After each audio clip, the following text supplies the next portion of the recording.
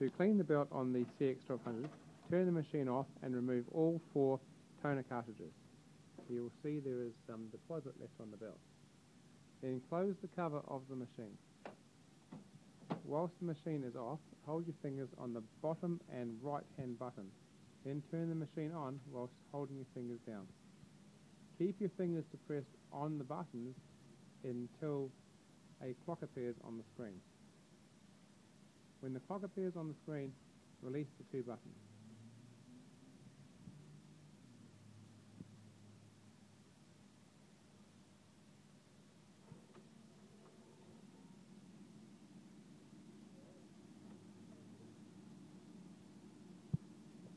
Then go into miscellaneous tests. Then go into belt tracking. The machine will go through a sequence of belt tracking testing and cleaning. After that, wait till it's finished and then turn the machine off and back on again and reinstall the toner cartridges that you have kept, on a nice clean surface. That is how to perform a belt cleaning and tracking procedure on the CX1200. Thank you.